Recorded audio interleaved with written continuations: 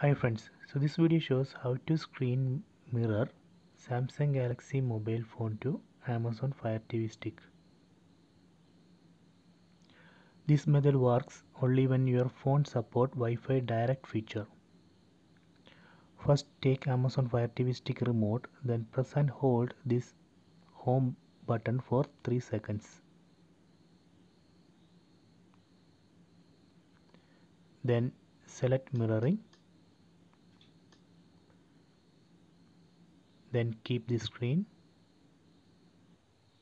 Then take Samsung Galaxy mobile phone.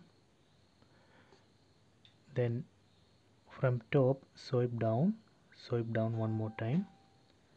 Then swipe left.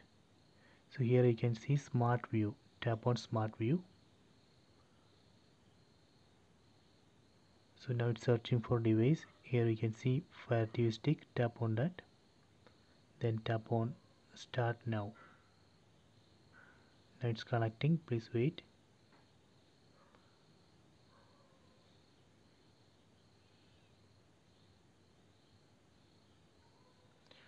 Okay done. So this way we can screen mirror Samsung Galaxy mobile phone to Amazon Fire TV stick. So I hope you enjoy this video. Please subscribe my channel. Please like and share the video